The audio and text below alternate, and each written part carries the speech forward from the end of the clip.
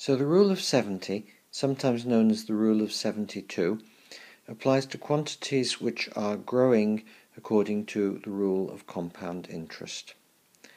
And what it says is that the doubling time, the time that it takes for the quantity to double that's growing by the rules of compound interest, is approximately given by 70 divided by n, where n is the interest rate, or it is approximately given by 72 over n.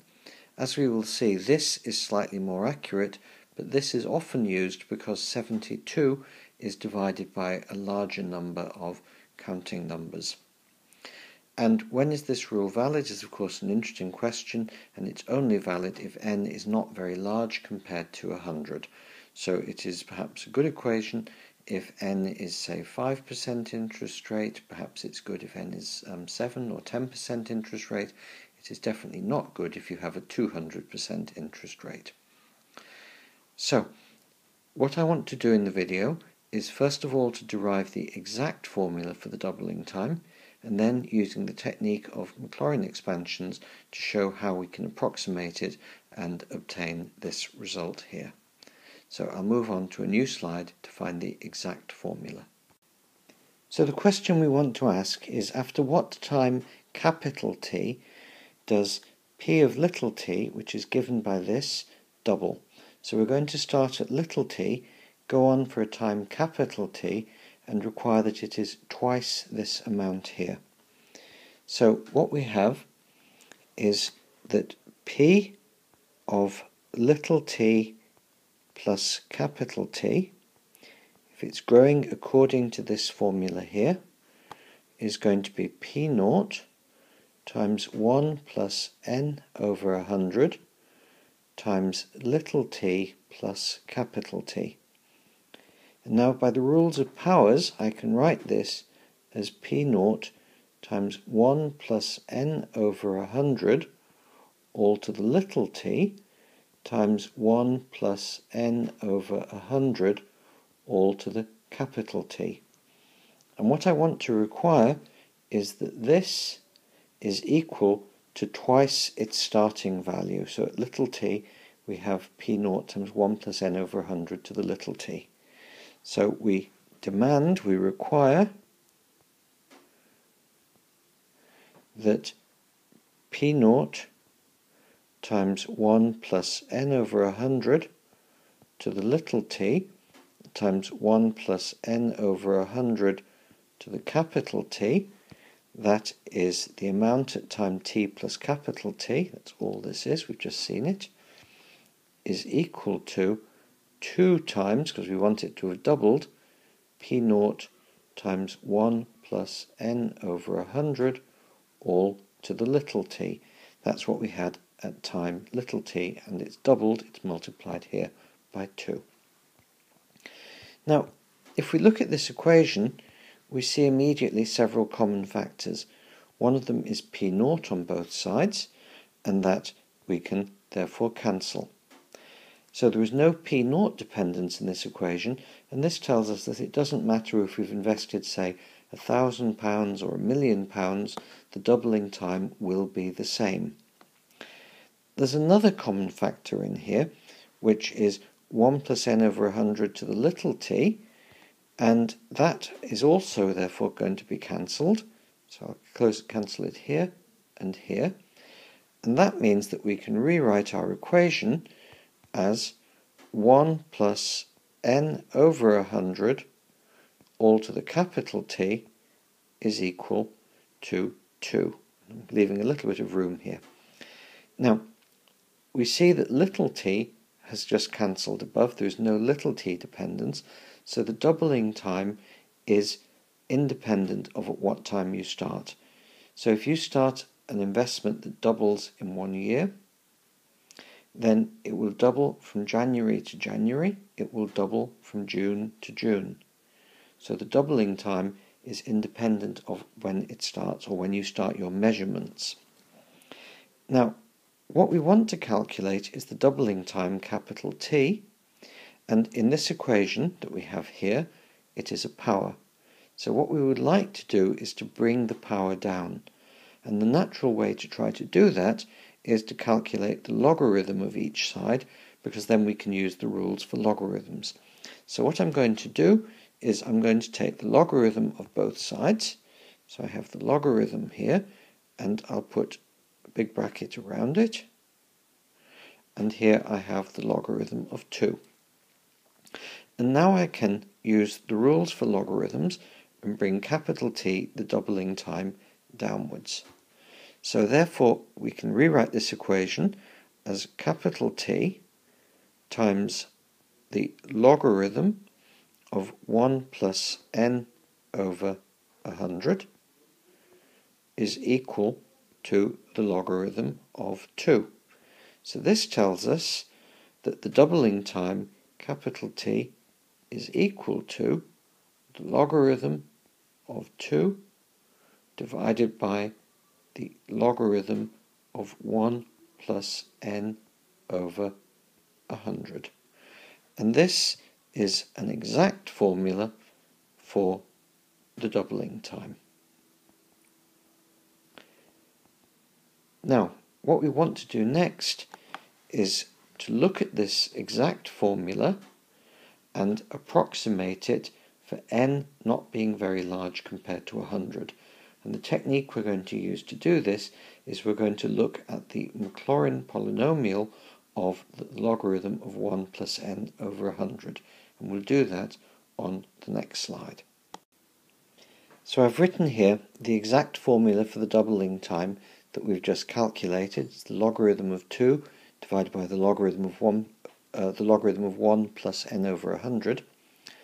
And as I've just said, we're going to calculate the Maclaurin expansion of the logarithm of 1 plus x, and I've written out here for us the formula for it. So our function of x can be approximated by the function at naught, plus the derivative evaluated at naught times x, plus the second derivative evaluated at naught times x squared, etc., etc. So what we have, therefore, is that if our function is the logarithm of 1 plus x, so the logarithm of 1 plus x is our function, then f of naught is the logarithm of 1 and the logarithm of 1 vanishes.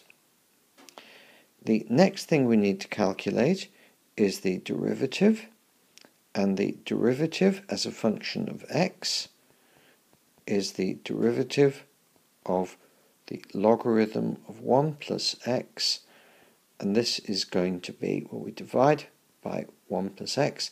We multiply by using the chain rule we multiply by the derivative of the argument and the derivative of 1 plus x is just 1 so therefore our first derivative evaluated at 0 is 1 over 1 so it's just 1 and we could work out higher terms, but for this rule we neglect them. That is the approximation. So, this is our approximation, the logarithm of 1 plus x is the first term, f of naught, we have seen vanishes, and then we add the derivative, which is just 1, times x. And then there are other terms which, as I've said, we're going to neglect. So this is the Maclaurin expansion of the logarithm of 1 plus x, and if we replace x by n over 100, we have the logarithm of 1 plus n over 100 is 0 plus n over 100, so it is just n over 100 plus higher order terms. These higher order terms are all powers of n over 100. So n over 100 squared, n over 100 cubed, etc. If n is significantly less than 100, we can hope to neglect these terms. So this means that we can substitute our formula here into the formula here, and we have that our doubling time is equal to the logarithm of 2 divided by n over 100 So that means divided by n and multiplied by 100. And this is an approximation. So, on the next slide, we're going to look numerically at what 100 times the logarithm of 2 is. So, a moment ago, we saw that we can approximate the doubling time by 100 times the logarithm of 2, all divided by little n. And we can use a calculator or some other device to calculate the natural logarithm of 2, multiply it by 100, and what we find is that t is approximately equal to 69.31 etc etc over little n. So this is just writing 100 times the logarithm of 2 and approximating it as an integer. And this is very widely still approximated further and saying that this is approximately 70 over n, or that this is approximately 72 over n. The reason, as I said before, why 72 is chosen is because it is exactly divisible by a larger number of whole numbers.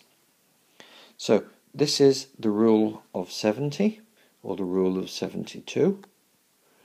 And I'd like to complete the video by just calculating an example and then we can verify how good the approximation is.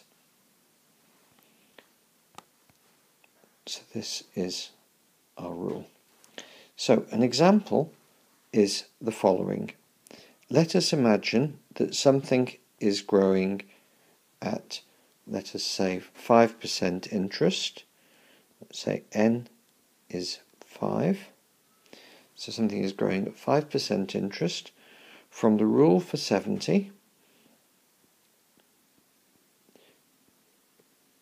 We see that the doubling time is 70 divided by 5 and that is 14 years. So let's imagine that we have £1,000 invested at 5% interest, it will double after 14 years. Now we can check this. What this example is saying is the following. It says that we have P of t, this is our equation, is P naught, the initial amount we start with, we've said this is a thousand pounds, times 1 plus 5 over a hundred, all to the power of little t. And if t is 14, then we would find that p of 14 is a thousand multiplied by 1 plus 5 over 100, so 1.05, all raised to the power of 14. And if we substitute this into a calculator, we can calculate what we would get. And what we find is that this gives us, to the nearest pound, 1,980 pounds. And this is clearly a good approximation to what the rule of 70 tells us. It tells us that the £1,000 would have doubled and we would have £2,000, which is in good agreement with £1,980.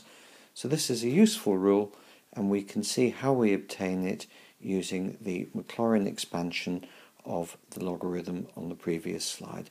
And with that, we will finish the video.